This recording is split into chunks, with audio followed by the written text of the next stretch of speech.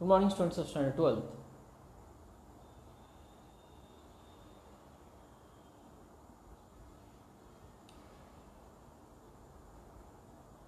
This instruction is for those students who are skipping online classes. Students, it is important.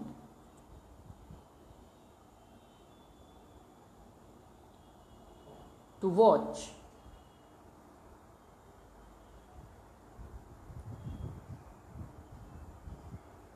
Videos.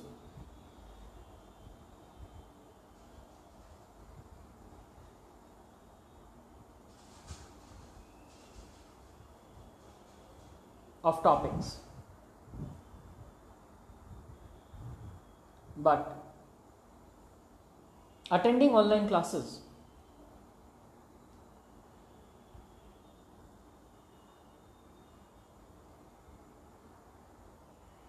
is also quite important.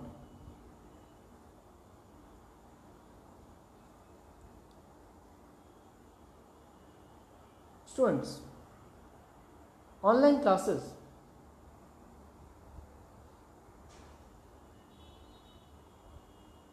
of the concerned subject is the exact place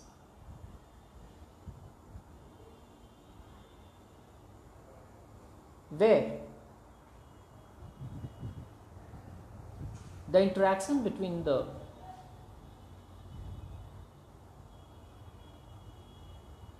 concerned teacher and the students takes place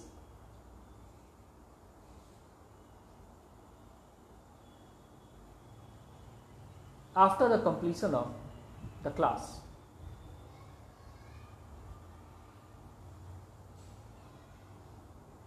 So, students, please join the online classes also. Thank you, students. Students, today we are going to discuss chapter 9 that is food production. Topic fisheries.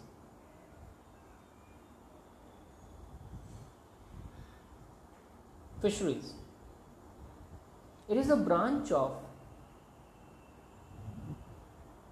animal husbandry in which fishes are being cultured for food. The process involved in obtaining fishes from the source is called as fishing.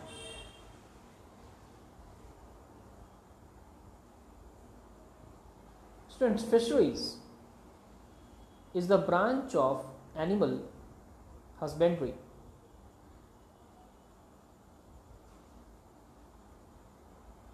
in which fishes are being cultured for food.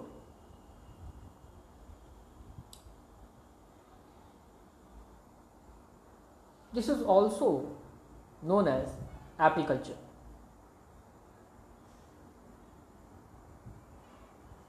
Students, the process which is involved in obtaining the fishes from the source is called as fishing.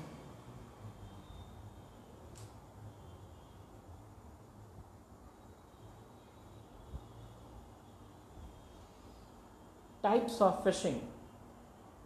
There are two types of fishing. Capture fishing. It is a process of obtaining fishes from natural resources like oceans, rivers. Students, Capture fishing is the process of obtaining fishes from various sources like oceans, rivers.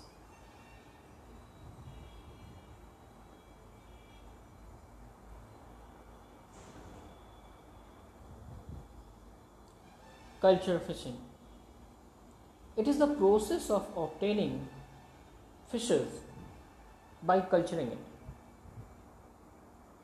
Students, here we can notice that it is the process in which the fishes are obtained but by culturing it. That is by rearing it. So it's a picture which you can notice here also depicts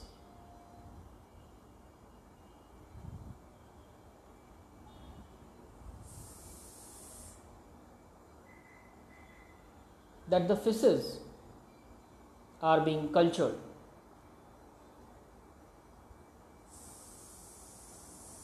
in the oceans by making a fence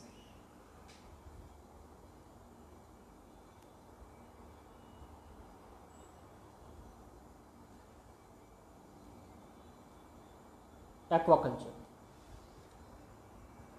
It involves production of fishes,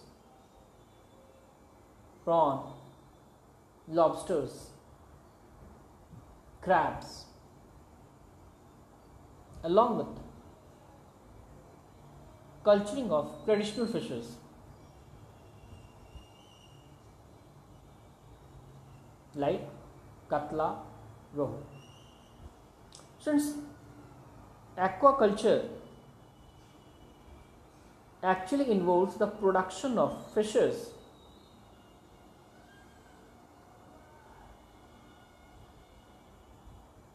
prawn, lobster, crabs.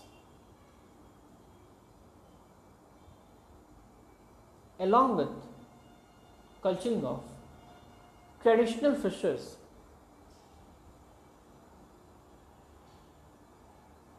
which are katla, rohu.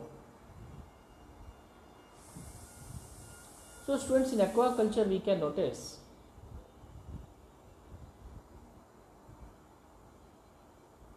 that the traditional and non-traditional types of fishes are being cultured in it. Where katla and rohu are the traditional fishes and the prawn and the lobsters, crabs are the non-traditional fishes.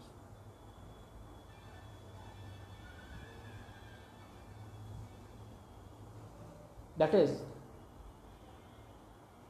non-traditional aquatic organism that is seafood. Composite fish farming. It involves culturing of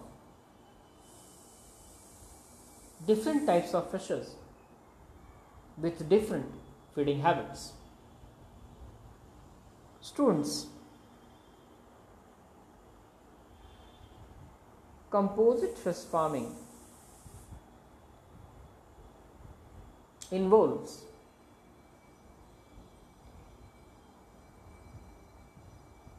the culturing of fishes with different feeding habits. So we can say that these fishes are different from each other, that is, different types.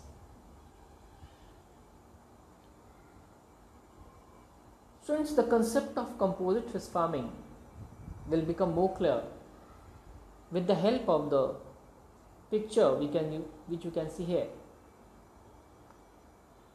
Friends, here the resources which are there present in the water source is being utilized by culturing three different varieties of fishes. Students, here the first variety is the variety of surface feeders. Surface feeders are those varieties of fishes which generally are found on the top layer of the water sources.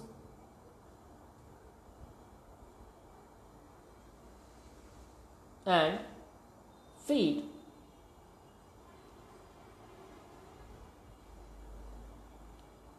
on the microorganisms which are present on the surface of the water sources. The example of surface feeder is Katla.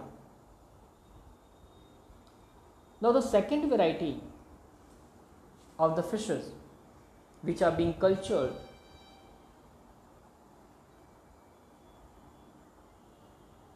in the composite fish farming is the middle feeders. Students, this zone which you can see here is the zone which lies in between the surface and bottom.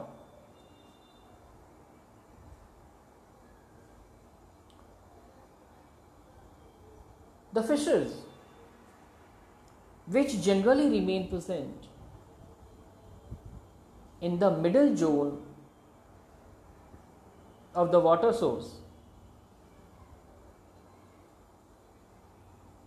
are called as middle feeders. One of the example of the middle feeders is Rohu.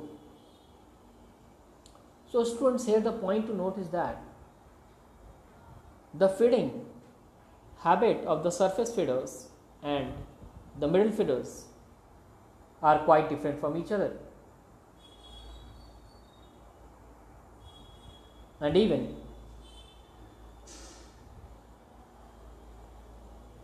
the zone of their location. Friends, now the third variety of the fishes which generally is found at the bottom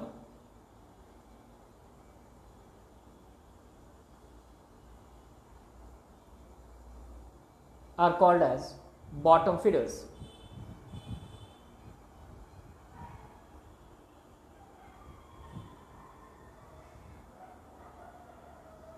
So, students, bottom feeders are those fishes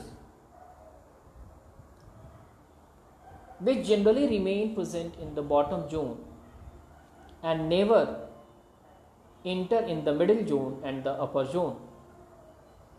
So, students, here we can notice that there are three different types of fishes with three different feeding habits where the example of the surface feeders is Katla, the example of the middle zone that is middle feeders is Rohu and the example of the bottom feeders is Mrigal and common carp.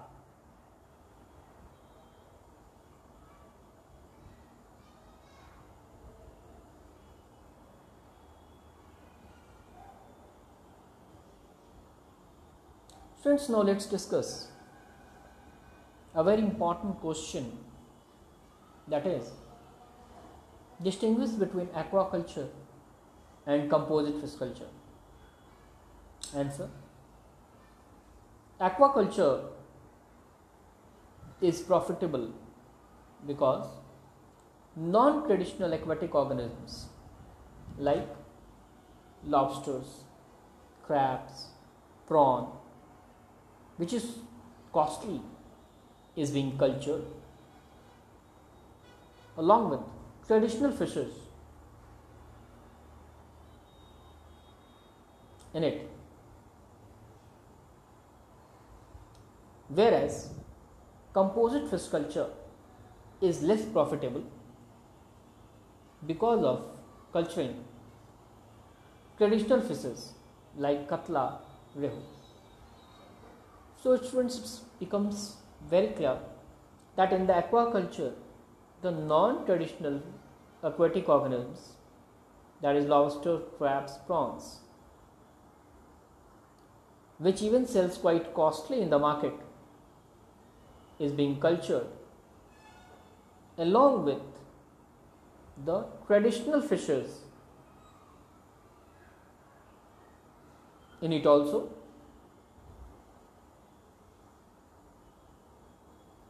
whereas the composite fish culture is less profitable because it cultures only the traditional fishes like katla and rohu.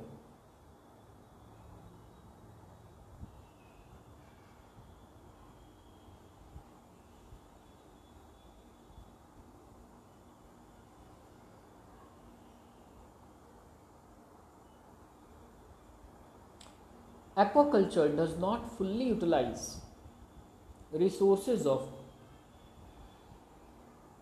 water source, but composite fish culture can fully utilize the resources of water source. So, students, aquaculture does not fully utilize, that is, is not able to utilize the resources which are present in the water source. But composite fish culture can fully utilize the resources which are present in the water source. Thank you students.